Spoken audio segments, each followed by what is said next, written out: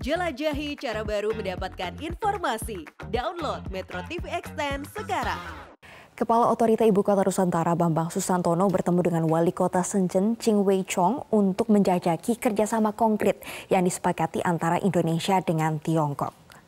Wali Kota Shenzhen menawarkan dukungan untuk ikut dalam pembangunan dan pengembangan IKN dan disambut baik oleh Kepala Otorita IKN Bambang Susantono.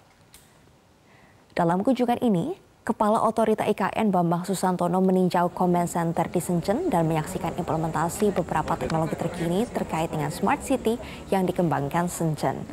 Selama 40 tahun terakhir, Shenzhen bertransformasi dari kota kecil menjadi kota metropolis.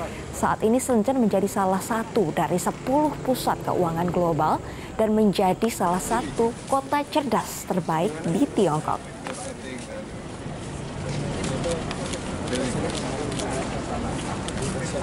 Cara mudah mendapatkan informasi dengan satu sentuhan jari. Download Metro TV Extend.